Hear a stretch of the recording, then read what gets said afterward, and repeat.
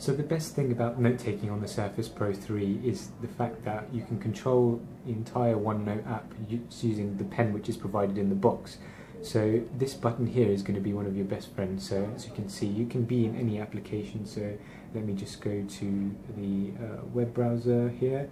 You can be in any application and you can activate the note-taking capabilities with just a simple click of your pen lid and it will open up the note that you are in or if you have, if you weren't using the app then it will open up a fresh page. So this is the demo. The surface.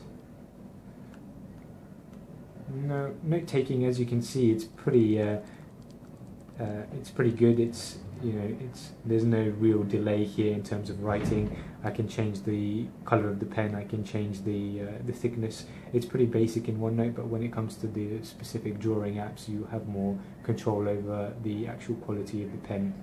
Now the interesting this is just for note taking. So if I click that it has now synced that to the OneDrive and now is opening me up a fresh page and I can continue note taking as well uh, if you want to see the notes you've taken earlier, you can just flick through there, you can share them, um, you can do everything. It's just all easy click, click, tap.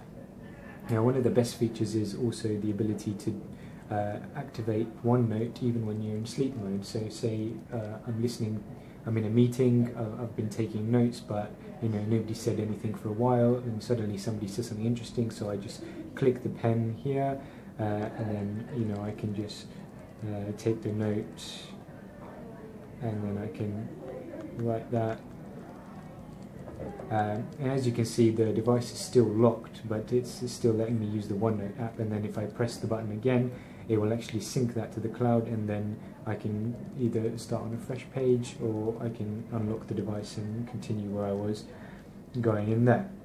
So you know that's really really useful. It's, it saves a lot of time, saves having to log in and faff around when you have got a really uh, important idea in your head.